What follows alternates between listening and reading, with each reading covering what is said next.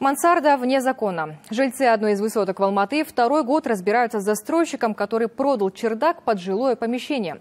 Жители опасаются за свою безопасность. Владелец, по их словам, начал сносить несущие конструкции крыши. Ранее заявлением они обратились в суд. Сегодня на место отправились специалисты ГАСК. На основании жалобы была открыта внеплановая проверка, проведена проверка.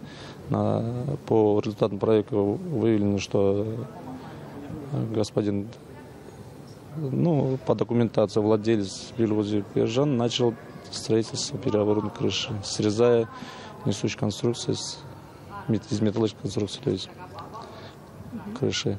В связи с чем а, был составлен протокол и выдано предписание. По предписанию он должен был устранить, привести первоначальное состояние. Этот дом был введен в эксплуатацию как 15-этажный, а верхний является пентхаусом. Однако в документах всплыл 17 этаж, хотя по факту его нет.